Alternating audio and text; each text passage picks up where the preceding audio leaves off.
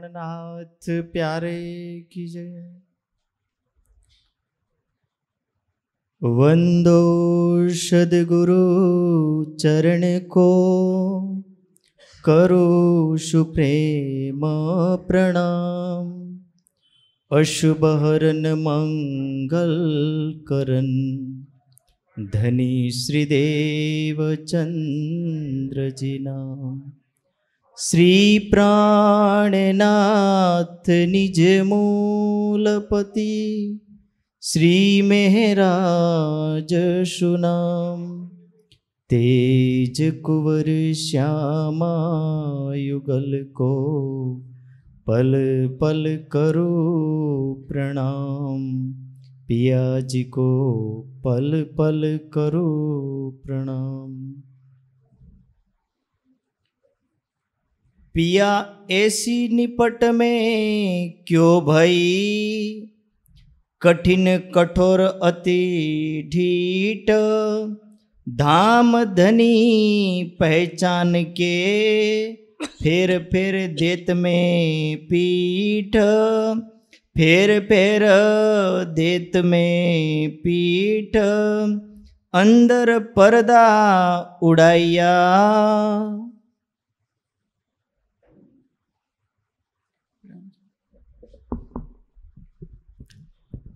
प्राणेश्वर अक्षरातीत ने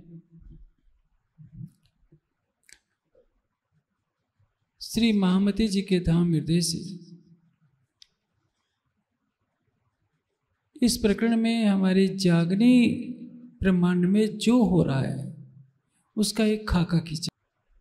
इस प्रकरण की पहली चौपाई शुरू होती है, करने तुम्हारी मेरी में तोली, जैसे सत सत हो धनी मेरे यति है तफावत। महामती जी की आत्मा स्वयं को संबोधित कर रही है। सिखावन है हमारे लिए। यही तो मानता है। पूरी वाणी में महामती जी ने कभी सुंदर साथ के ऊपर दोष नहीं दिया है। सारा दोष अपने ऊपर ले लिया है। रोम रोम, कई कोट गुण, ऐसी में गुनहगार। ये तो कहीं में गिनती, पर गुन्हे गुन्हे सुहा सुमार। आप सुंदर साथ में से किसी को कह दिया जाए कि आप में ये कमी है तो आपका चेहरा लाल हो जाता है। लेकिन महामती जी ने किसी सुंदर साथ को फटकारा नहीं है।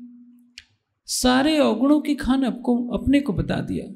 आप सोचिए, जिस तन में अक्षरातीत लीला कर रहे हो, जिसको अपनी सारी शोभा दे रखी हो, नाम श्रृंगार शोभा सारी, मैं भेग तुम्हारे लिए महामती जी की आत्मा आगे कहती है आप जैसी कर बैठाई, आपने मुझे अपने समान बना लिया।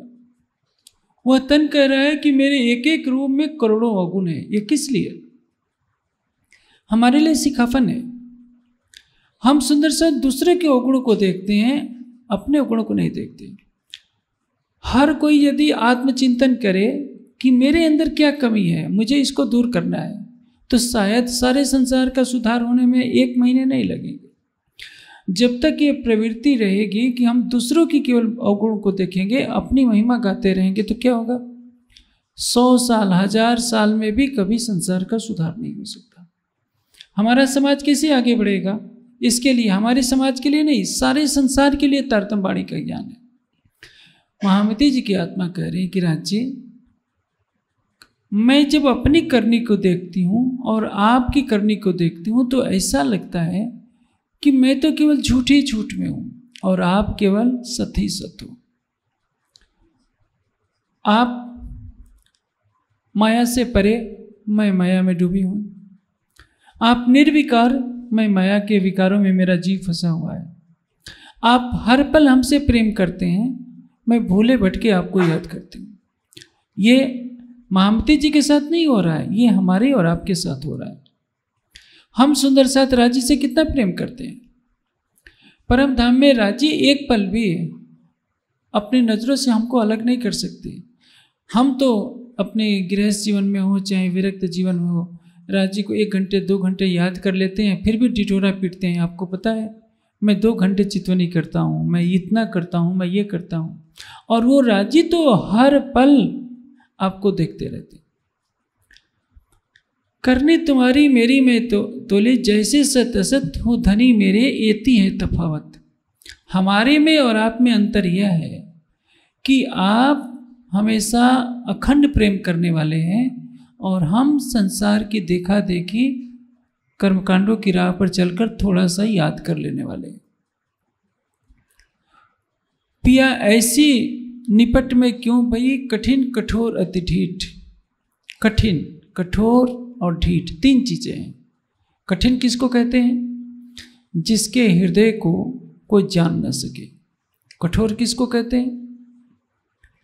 आप देखिए।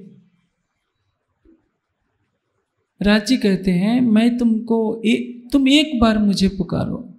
साध करना। साध करने का अर्थ क्या होता है? रिझाना। रिझाने का अर्थ सुंदर साथ ने आजकल ये ले लिया है केवल गरबा खेलना नाचना कूदना। ये रिझाना नहीं है। रिझाने का अर्थ होता है, आपने अपना हृदय कितना समर्पित किया है? ये तो वृंदावन में राज की मंडलियाँ होती है, वो भी नाच कूद कर लेती हैं। उनके पास तारतम ज्ञान को तो नहीं है, वो राज्य समाजी को भी नहीं जानती। हम सुंदर साथ ने उठते, बैठते, सोते, जागते, क्या हमारे हृदय में राज्य के लिए तड़फ है? सतगुरु हमसो रीच कर कहिया एक प्रसंग, बरसिया बादल प्रेम का भीज गया सबंग, कबीर जी ने बहुत ऊँची बात कही है। रिचना उसको कहते हैं पूर्णतया फिदा होना। रास ग्रंथ में एक चौपाई आती है, चर्चा सुन जो दिन ने रात, आपन ने तूठा प्राणनाथ। हमें दिन रात चर्चा सुननी है क्यों? क्योंकि हमें राज्य के स्वरूप का बोध हो सके, अपने स्वरूप का बोध हो सके। ब्रज में हम फिदा नहीं हो पाए थे। रास में फिदा नहीं हो पाए थे। आप सोचेंगे क्यों? ब्रज में फिदा होते तो बावन साल, बावन दिन की जुदाई क्यों होती? ये ठीक है। श्री कृष्ण जी ग्वाल बालों के साथ बछड़े लेकर यमुना के किनारे जाते हैं। गोपियाँ उनको याद करती हैं। कुछ समय तक प्रेम की लीला चलती है, लेकिन जैसे जैसे समय बीतता जाता है, प्रेम में व्यवधान आता जाता है। राज्य जागृत हैं।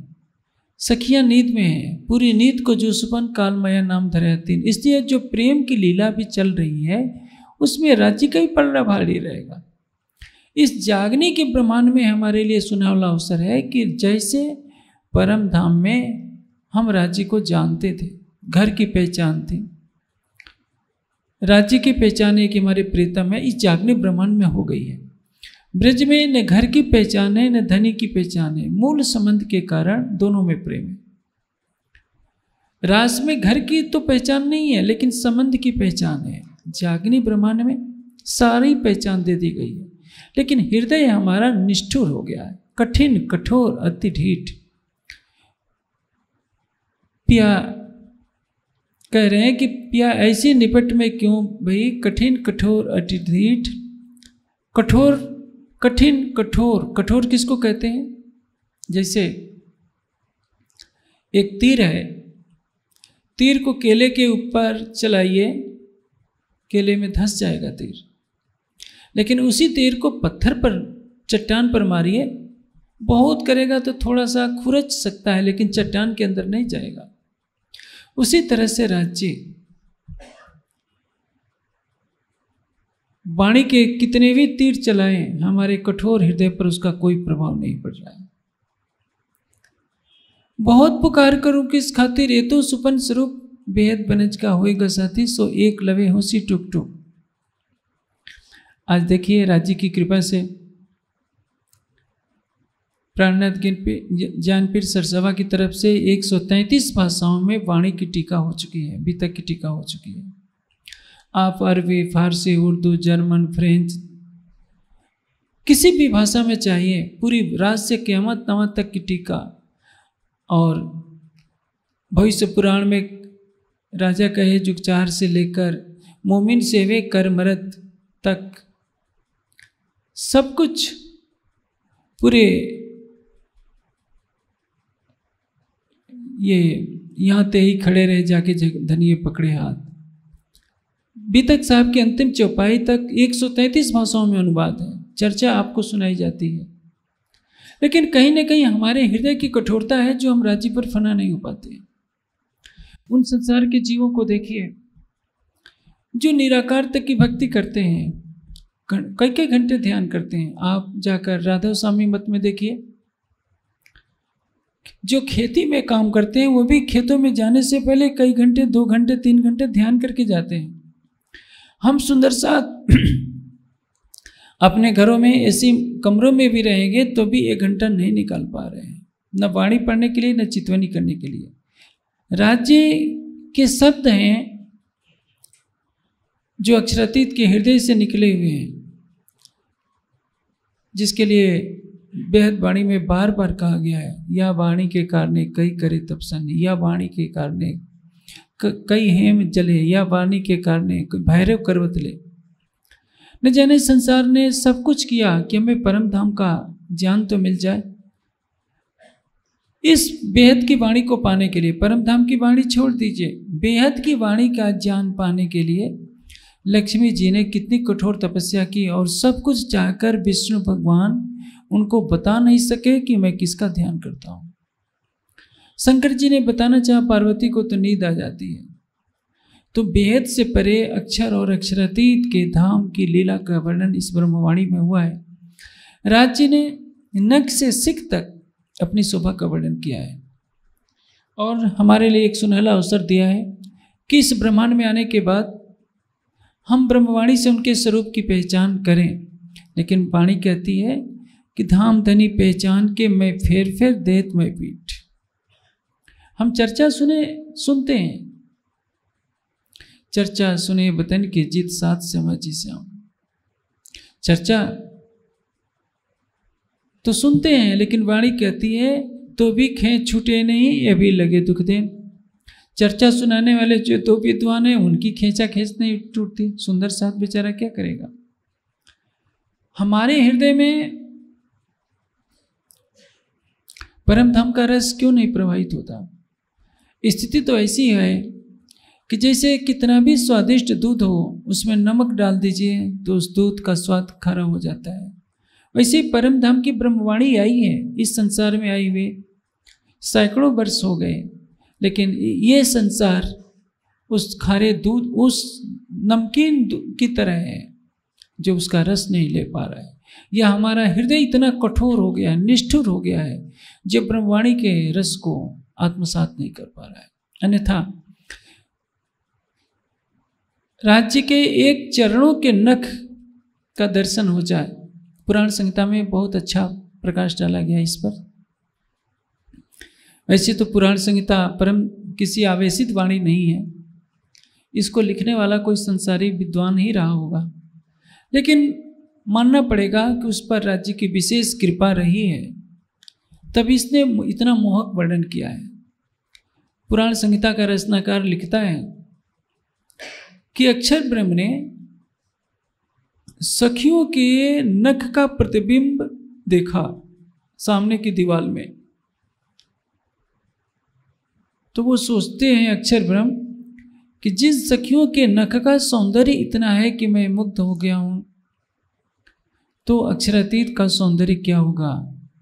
अक्षरातीत की प्राणेश्वरी श्यामा जी का सौंदर्य क्या होगा? और उस प्रेम में लीला का आनंद क्या होगा? अब सोचिए। जिस अक्षय ब्रह्म के आदेश मात्र से अनंत ब्रह्मांड पल में बनते हैं और लय को प्राप्त हो जाते हैं। अक्षर ब्रह्म के दर्शन का सौभाग्य पंचवासनाओं को भी नहीं है।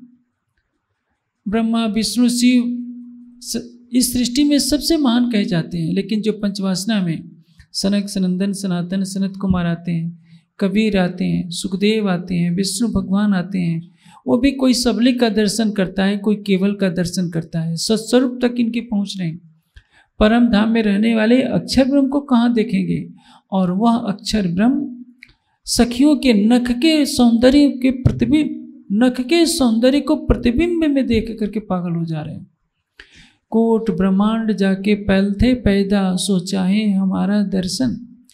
और आप परम धाम के ब्रह्म ने इस संसार में आकर आपका हृदय इतना कठोर क्यों हो गया कि आप धन संग्रह में अपनी ऊर्जा लगा रहे हैं? दूसरे से घृणा करने में अपनी ऊर्जा लगा रहे हैं? राज्य का प्रेम आपके पास क्यों नहीं? ये किरंतन हमारे लिए आत्ममंथन के लिए है। आगे वाणी क्या कहती है?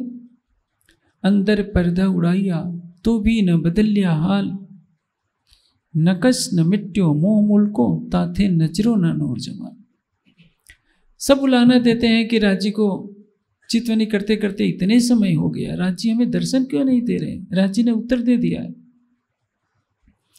ताथे नजरो ना नूर जमाल। मैं यहाँ तकत पर बैठा हूँ। मेरे और आपके बीच में पर्दा एक कर दिया जाए तो न मैं आपको देख पाऊँगा, न आप मुझे देख पाएँगे। कृंतन में एक बहुत अच्छा प्रकरण है। अंदर ना ही निर्मल फिर फिर न आवे बाहर। कर दिखाई कोटबेर तो है ना मिलो पर करतार, उसी प्रकरण में आगे कहते हैं, जैसा बाहर होते हैं, जो होए ऐसा दिल। अदकिन पीव नारा नहीं माहिर है। हम शरीर को तो नहला दे रहे हैं, अच्छे से। तरह तरह के क्रीम पाउडर लगाते हैं, बालों को धोते हैं, सब कुछ धोते हैं। लेकिन क्या हमने राज्य के प्रेम के जल से, नहाइए हक के जमाल में, राज्य की शोभा में डूबकर उनके प्रेम रूपी जल से अपने हृदय को धोने का प्रयास किया है? नहीं। पाँव मासूक के आशिक पिए धोए धोए। राज्य के चरणों को धो धोकर पीने का तात्पर्य ये जाहिरी चरण नहीं। मैं इस संसार के एक नश्वर जगत के प्रेम का उदाहरण देता हूँ, सख्य भाव का प्रेम, जिसको नवधा भक्ति कहते हैं। श्री कृष्ण और सुदामा बचपन के मित्र हैं। मैं ग्यारह वर्ष बावन दिन की लीला का वर्णन नहीं कह रहा हूँ, ग्यारह दिन का भी नहीं बैकुंठवासी विष्णु भगवान रूप श्री कृष्ण के प्रेम का वर्णन कर रहा हूँ। हम तो परम धाम को मानने वाले हैं। सुदामा कितने गरीब हैं श्री कृष्ण उस समय द्वारिका में राज्य कर रहे होते हैं। उनकी अवस्था क्या है? शीश पगान जगह तन में। सिर पर पगड़ी नहीं, शरीर पर कोई वस्त्र नहीं। शीश पगान जगह तन में, प्रभु जाने बसी के ग्रामा। धोती फटी सी लटी दुपटी, और उपाय उपाना की नहीं समा। धोती फटी हुई है। जगह जगह पैबंद लगे हैं।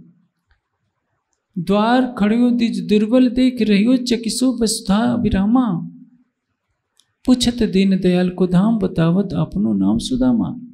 द्वारपाल कहता है कि प्रभु वो दरवाजे के बाहर खड़े होकर आपके इस वैभवशाली महल को देख रहा है। कहता है कि मैं सुदामा हूँ, कह दो। श्रीकृष्ण जी से कि आपका मित्र सुदामा आया है।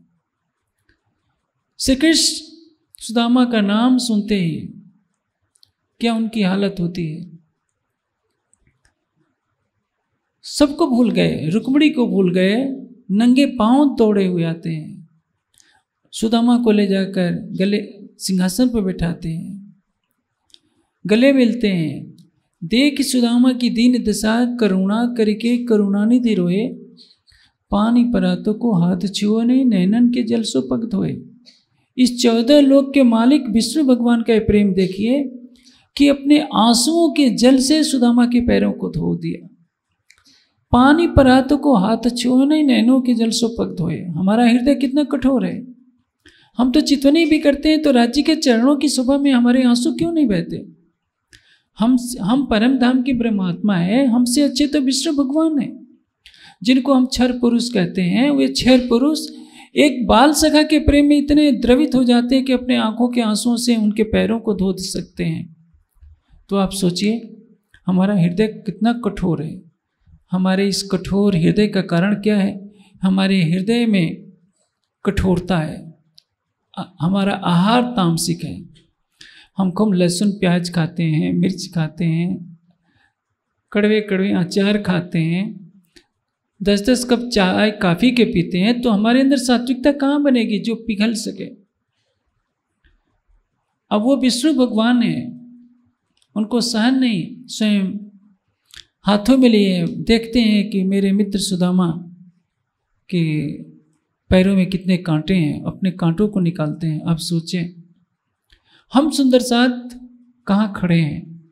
वही बात कही रहे, कह रहे हैं महामती जी, अंदर पर्दा उड़ाइया, आपने हमारे हृदय का अंधकार दूर कर दिया है।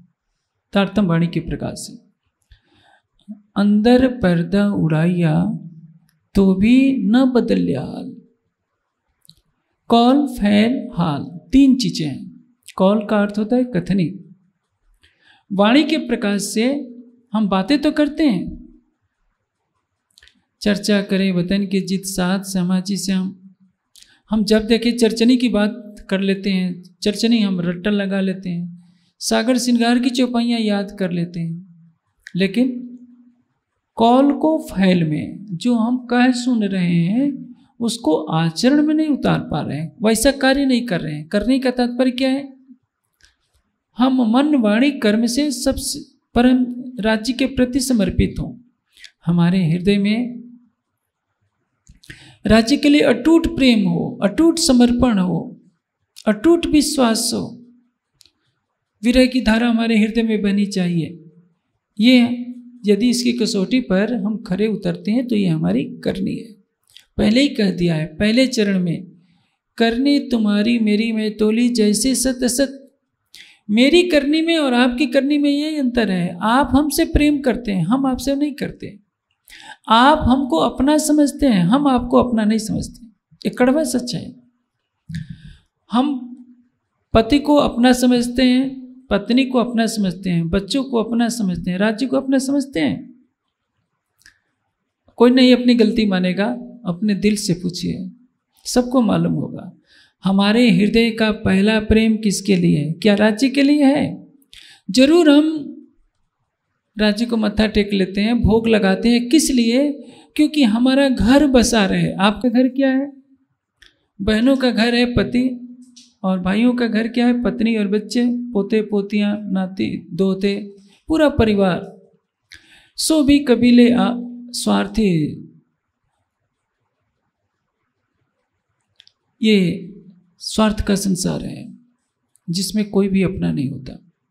स्वार्थ पूरा है, परिवार के सारे रिश्ते अपने लगते हैं। नहीं तो देखिए, दो सुंदर साथ होंगे, भले ही सुंदर साथ हैं, दो भाई भाई हैं जब बंटवारा होगा तो उनमें कड़वाहट फैल जाती है। पिता पुत्र में कड़वाहट किसके लिए? धन के लिए। वह धन जिसमें एक रुपया भी कोई ले नहीं जा सकता। सुंदर साथ सुंदर साथ से लड़ता है, भले ही ब्रह्म सृष्टि क्यों ना हो। तो हमारी करनी प्रेम से भी बिल्कुल उल्टा है। हम राज्य को छोड़ सकते हैं राज्य हमको तो नहीं छोड़ सकते। क्योंकि परम धाम में राज्य सारी ताकत लगा दें। बारह हज़ार से बारह हज़ार, एक तो नहीं बना सकते, एक पत्ता भी नहीं बना सकते हैं।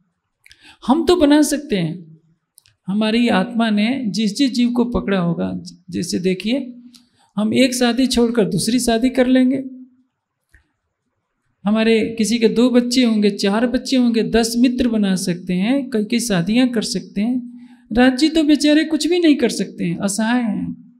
क्योंकि उनसे वो आपसे अटूट संबंध है। वो कोई परिवर्तन का अधिकार नहीं रखते। आप माया में पढ़कर सब परिवर्तन कर सकते हैं। किसी से आज दिल बहला लिया, कल को किसी से और दिल बहला लिया। पैसा है, दर्जनों मित्र खड़ा कर लिए। राज्य के चितवने के लिए एक घंटे का समय मुश्किल से नहीं दे पाते। कहते हैं कि बहुत व्यस्तता है, क्या करें? इतने दोस्त आए इतने रिश्तेदार आए इनकी खातिरदारी करनी पड़ेगी। राज्य की आचितवनी नहीं करेंगे तो चलेगा, वाणी नहीं पढ़ेंगे चलेगा। ये चलेगा जो शब्द है, बहुत घातक है। क्या सांस लेने बिना आपका जीवन चल सकता है? आशिक इन चरण की, आशिक की रूह चरण।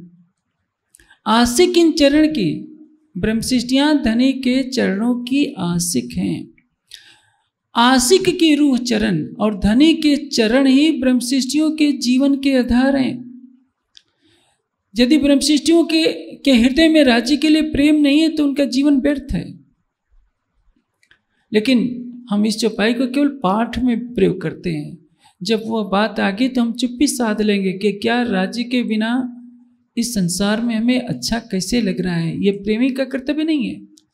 यदि हमें राज्य से वास्तव में प्रेम हो जाएगा तो राज्य के दीदार बिना एक एक एक दिन जो जा रहा है, हमारे लिए शमशान में रहने के समान है। ये संसार हमें अच्छा क्यों लग रहा है? क्योंकि राज्य से ज़्यादा प्रेम हमको इस संसार से है। हम अपनी भूल माने या न माने, ये सच है। क्योंकि जिस दिन हमें राज्य से प्रेम हो जाएगा, यदि पाँच मिनट आपको ऑक्सीजन न मिले, श्वास लेने को न मिले तो शरीर छोड़ देते हैं। हम शरीर का पोषण कर रहे हैं, इस शरीर का पोषण हवा से होता है, वायु से, जल से होता है और भोजन से होता है। हमारे शरीर के जीवित रहने के लिए आवश्यक है, लेकिन आत्मा के जीवन का जो आधार है, सबसे बड़ी आश्चर्य की बात है, चाहे आप भी, चाहे मैं भी, जो भी वक्ता होता है, क्या बोलता है? प्राणाधार सुंदर जी कहते हैं ना? ये भी केवल दिखावे के लिए कहा जाता है सुंदर साथ दूसरे को कहते हैं कि आप हमारे प्राणों के आधार हैं। लेकिन क्या प्राणाधार मानता है? उसी से कल को झगड़ा कर लेता है। ऐसी नफरत हो जाती है कि कोई किसी को देखना पसंद नहीं करता, जिसको कल तक प्राणाधार कह रहे थे। तो इस माया के ब्रह्मांड में जो झूठ का ब्रह्मांड है, कदम कदम पर झूठ है। आप प्रतिदिन आरती उतारते हैं तो प्रतिदिन कहते हैं, तनमन जीव निछावर किन्नो मोहम्मद चरणों लाद क्या आपने तन निछावर कर दिया है? नहीं। कभी किसी झूठी से, छोटी सी सेवा के लिए कह दिया जाए कि यहाँ झाड़ू लगाओ तो आप कहेंगे कि मैं पैसे वाला झाड़ू क्यों लगाऊँ? आप जाकर स्वर्ण मंदिर में देखिए। वो तो गुरुवाणी को पूजा करते हैं, गुरुवाणी की पूजा करते हैं। हम तो वाणी को राज्य मान कर पूजा करते हैं। फिर भी हम वैसी श्रद्धा नहीं रखते जितना कि सिख रखते हैं। वहाँ जो करोड़पति होगा वो सबके जूते पोछेगा।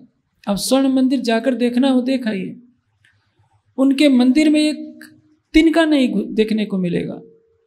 हर सिख अपनी गुरुवाणी के लिए प्राण देने को तैयार होता है। 400 साल हो गए, हम ब्रह्मवाणी को संसार में नहीं फैला पाए। हमको न राज्य से प्रेम है, न वाणी से प्रेम है। तो वाणी क्या कह रही है?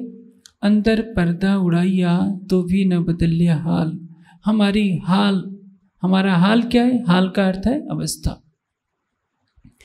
हम केवल कहने सुनने में लगे रहे। कथने, करने और रहने रहने को अरबी में हाल कहते हैं। हमारी कथनी केवल कहने का विषय बन गई। हम मुख से कहते हैं मैंने अभी कहा, प्रीतम मेरे प्राण के, प्राणनाथ का अर्थ क्या होता है? जो हमारे जीवन का आधार हो। हम सुंदर साथ को भी कहते हैं कि आप हमारे जीवन के आधार हो राज्य को भी कहते हैं कि हमारे जीवन का आधार हो। लेकिन जब समय आता है तो हम सुंदर साथ का भी रिश्ता भूल जाते हैं। राज्य को तो भूले ही रहते हैं, और सुंदर साथ से ज़्यादा माया के रिश्तों को प्रधानता देते हैं। आप इतने सुंदर साथ आए हैं, बताइए।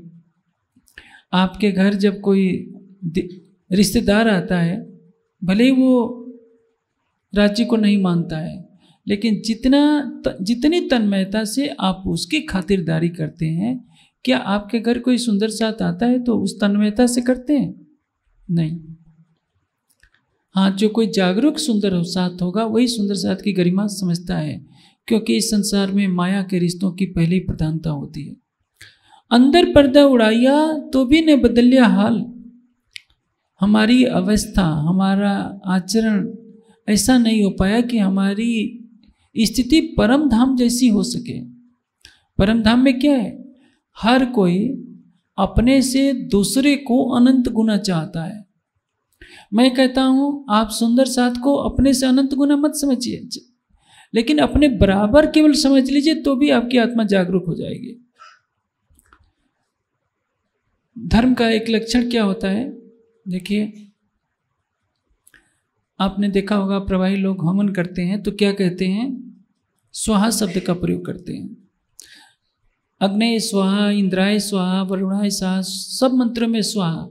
स्वाहा का अर्थ आम तौर पर लोग समझते हैं, जिन्होंने वेद की भाषा को नहीं जाना, समाप्त हो जाना। कहते हैं ना कि इनका घर स्वाहा हो गया, ऐसा नहीं है। स्वाहा का अर्थ होता है, हम दूसरों के साथ वैसा ही व्यवहार करें जैसा हम उससे चाहते हैं। आत्मना प्रतिकूलान परिंसम न समाचरित। हम दूसरों के साथ वैसा ही व्यवहार करें जैसा हम चाहते हैं। यदि आप दूसरों से प्रेम चाहते हैं तो आपको प्रेम करना पड़ेगा। अंदर पर्दा उड़ाइया तो भी न बदल हाल। हम सुंदर साथ को प्राणाधार कह रहे हैं कि आपके बिना हम जीवित नहीं रह सकते, राज्य को प्राणनाथ कह रहे हैं, लेकिन उनके बिना हम जीवित हैं। हम दूसरों को पीड़ा देकर स्वयं सुख चाहते हैं। ये देखना हो तो जहाँ बड़े बड़े कार्यक्रम हो कमरों के लिए झगड़ा होता है, मैंने देखा है। अपने नज़दीकी नज़दीकों को कमरे में बैठा लेते हैं। अभी पन्ना में भी होता है। कई सुंदर साथ चार चार गद्दे लेकर अकेले सो जाते हैं और कोई बेचारा चटाई पर बैठा रहता है। वो वो नहीं सोचते कि भाई हम इसको कंबल गद्दा नहीं देंगे, वो कितनी पीड़ा में रात गुजारेगा? कहीं बस में यात्रा करनी है तो जो युवा वर्ग भी होगा अच्छी अच्छी सीटों पर बैठ जाएगा, ये नहीं सोचेगा कि जो बूढ़े बुज़ुर्ग होंगे, वो क्या करेंगे? भले ही बूढ़े बुज़ुर्ग को पीछे बैठना पड़े, कहने का तात्पर्य क्या है? हमारे मन पर, हमारी वाणी पर, हमारे आचरण पर माया हावी है। इसलिए हमारी रहनी परम धाम में जैसे नहीं बन पा रही है। यदि हम ब्रह्मवाणी को आत्मसात कर लिए, परम धाम के निस्बत की पहचान कर लिए तो क्या होगा? हमारा हाल यदि परम धाम जैसा बन जाए, हम परम धाम में तो सभी एक दूसरे को राज्य श्यामा जी से अपने से अनंत गुना प्रेम करते हैं। श्यामा जी सखियों को अपने से अनंत गुना चाहती हैं। सखियाँ अपने से अनंत गुना राज्य और श्यामा जी को चाहती हैं। पशु पक्षी अपने से अनंत गुना खूब खुशहालियों को चाहते हैं और खूब खुशहालियाँ अपने से अनंत गुना पशु पक्षियों को चाहती हैं और राज्य जी सखियों को चाहती है। हर धरती, आकाश, महल, वृक्ष सभी अपने से अनंत गुना एक दूसरे को चाह रहे हैं। हम सुंदर साथ केवल अपने बराबर चाहना शुरू कर दें तो हमारी आत्मा की जागृत हो जाएगी। इसलिए वाणी की तीसरी चौपाई का कथन बहुत महत्वपूर्ण है। कि अंदर पर्दा उड़ाइया तो भी न बदल्या हाल। नकस न मिट्टो मोह मूल को ताथे नजरो न नूर जमाल। नकस। माया का मोह मूल को मूल से जिस मोह सृष्टि की रचना जिस मोह सागर से हुई है, उस मोह का असर हमारे हृदय में है, जो विकारों के रूप में फूटता रहता है। जब, जैसे अभी इस कक्ष में प्रकाश दिखाई दे रहा है पहले अंधेरा था, आपने बटन दबाया, कक्ष में उजाला फैल गया। उसी तरह से हमारे हृदय में माया का अंधकार फैला हुआ है। हमारी गुण अंग इंद्रिय हमारा अंतकरण, हमारी इंद्रियाँ, हमारा शरीर, सब कुछ इस मोह सागर से बना है। हमारी चेतना जिसको हम जीव कहते हैं, वो भी उस आदि नारायण से, के संकल्प से प्रकट हुआ है और उस आदि नारायण का प्रकटन भी स्वयं अक्षर के मन के इस मोह सागर में प्रतिबिंबित होने से हुआ है। तो इस संसार में जो कुछ देख रहा है केवल मोह सागर है। और उसी पर बैठकर हमारी आत्मा इस माया के खेल को देख रही है। उसका असर नहीं मिला है। उसका असर कब समाप्त हो जाएगा? जब हम राज्य की शोभा को अपने हृदय में धारण करेंगे। इसलिए माया से बचने का एक ही तरीका है। राज्य के प्रति प्रेम हो। प्रेम कहाँ से आएगा? जब प्रेम के स्वरूप को हृदय में धारण करेंगे तो। और राज्य के स्वरूप को हृदय में धारण करने का साधन क्या है? नख से सिख तक उनकी शोभा को निहारना। उस रसखान से पूछिए। जो कृष्ण के प्रेम में गलियों में पागल होकर के जाते हैं, उनको भी से पूछिए। परम धाम के जो ब्रह्मात्मा है, वह उठते, बैठते सुपन सुबह जागृत, दम न छोड़े, मासू को जाकी असलक निस्बत उठते बैठते, सोते, जागते उसके हृदय में अपने प्राणेश्वर की छवि रहेगी। और जैसे एक कक्ष में हम ट्यूबलाइट जला देते हैं, पूरा कक्ष प्रकाश से नहा जाता है। उसी तरह से जब राज्य की शोभा को हृदय में बसाते बसाते शोभा बस जाएगी तो आपके हृदय में विद्यमान जो माया है, आपका चित्त भी माया से बना है। मन, बुद्धि, अहंकार, इच्छाएँ, भावनाएँ, सब कुछ माया की देन है। इन सब का पतन समापि, समापन हो जाएगा और आपके हृदय सिंहासन पर युगल स्वरूप विराजमान दिखाई देंगे। और दर्शन न होने का कारण यही है कि माया का प्रवेश है, उसका विनाश होगा, माया का हटना कब संभव होगा? जब सुंदर साथ शरीर से परे होकर, मन बुद्धि से परे होकर, प्रेम पूर्वक अक्षरातीत की शोभा को निहारना प्रारंभ करेंगे। आज पूरे देश में कर्मकांड का जाल है। कर्मकांड का पसारा तो बहुत है। सब कुछ हो रहा है। पूजा पाठ हो रहा है, परिक्रमा हो रही है सेवा पूजा हो रही है, सब हो रहा है, लेकिन चितवनी नहीं हो रही है। मैं ये नहीं कहता कि आप कर्मकांड न कीजिए कीजिए।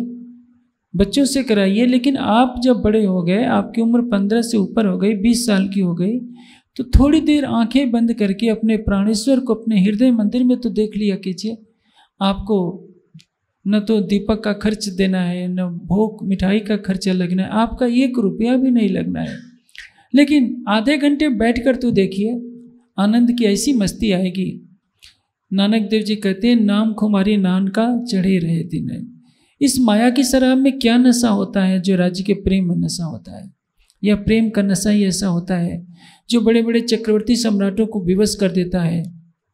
कि वे अपने सोने के इस महलों को लात मार देते हैं और गुफाओं की तरफ़ निकल पड़ते हैं। ये भक्ति का नशा है, वैराग्य का नशा है कि भारत का सम्राट भर्तृहरि एक पल में अपना सिंहासन छोड़ देते हैं और भक्त और संन्यास का वेश धारण कर लेते हैं। जितने बड़े बड़े चक्रवर्ती सम्राट प्राचीन काल में हुए, सभी ने अपने महलों का त्याग किया और वनों में झोपड़ी बना कर रहे। हम सुंदर साथ कितने निष्ठुर हैं कि घरों में बैठकर भी राज्य को एक घंटे के लिए भी नक से सिख तक उस शोभा को देखने देखने की इच्छा नहीं करते, जिसको देखने के लिए अक्षर ब्रह्म अनादि काल से तरसते रहे हैं। राज्य का आधा ही मुखारबिंद देखने को मिला। हमारे लिए राज्य ने नक से सिख तक पूरा श्रृंगार सजा रखा है। क्या कहते हैं? श्रृंगार किया सब दुल्हे बस्तर और बुखन अब बखत हुआ देखन का, देखो खोल रूह के नयन अंदर। लेकिन हम देखना नहीं चाहते। केवल पाँच चौपाई पढ़ लिया, पाँच बार तारतम का पाठ कर लिया, दो बार मंदिर में चक्कर लगा लिया, परिक्रमा कर लिया, हमारी बंदगी हो गई। ये तो नवधा भक्ति है, इससे आपकी आत्मा को क्या मिलेगा? आप अपने प्राणेश्वर को जब मंदिर में आइए तो युगल स्वरूप की अब सिंहासन पर देखिए तो समझिए कि युगल स्वरूप बैठे हैं। उसी भाव से अपने हृदय में युगल स्वरूप को देखिए। आप केवल भागते रहेंगे भागते रहेंगे पाठ करते रहेंगे तो ये तो दुनिया की भक्ति है और इस दुनिया की भक्ति से राज्य का दीदार नहीं हो पाएगा। इसलिए कहा है, नकस न मिट्यो मोह मूल को, ताथे नजरो न नूर जमा राज्य का हमें दर्शन नहीं हो पा रहा है तो इसके लिए हम पूरी तरह से दोषी हैं। राज्य तो पल पल आपके साथ थे बैठे मासूक ज़ाहिर, वो तो आपकी आत्मा के धाम हृदय में हर पल विराजमान है। हमारी अंधी आँखें देखना नहीं चाहती। वो आँखों पर पट्टी बाँध हम लेते हैं और देखते न देखे भरदार। उस कथन को सार्थक हम ही कर रहे हैं कि हम राज्य को भी देखते हुए भी अनजान बने हुए हैं कि राज्य दर्शन नहीं देते। दोषी कौन है? हम। ये तीनों चौपाइयाँ बहुत ही महत्वपूर्ण है। किरंतन के इस प्रकरण को यदि सुंदर साथ आत्मसात कर लेगा। मैं कहूँ कि ब्रह्मवाणी में राज राज से लेकर हवे पहला मोह जलनी बात से लेकर मोहम्मद उमद करी रोशन में किसी भी चौपाई का आप चिंतन करेंगे तो हर चौपाई आपको यही कहेगी कि अपनी आत्मा में बैठे हुए, अपने प्राणेश्वर को देखिए। जो मूल मिलावे में बैठा है, वही आपकी आत्मा के दिल में भी बैठा है और उसको पाना आपके जीवन का लक्ष्य है। लेकिन हम सुंदर साथ को इसके लिए चिंतन, वाणी का चिंतन करना पड़ेगा, अंतरात्मा से पूछना पड़ेगा अपने हृदय में प्रेम की रसधारा बहानी पड़ेगी और युगल स्वरूप को हृदय में बसाना पड़ेगा, तभी जागने का लक्ष्य पूरा होगा।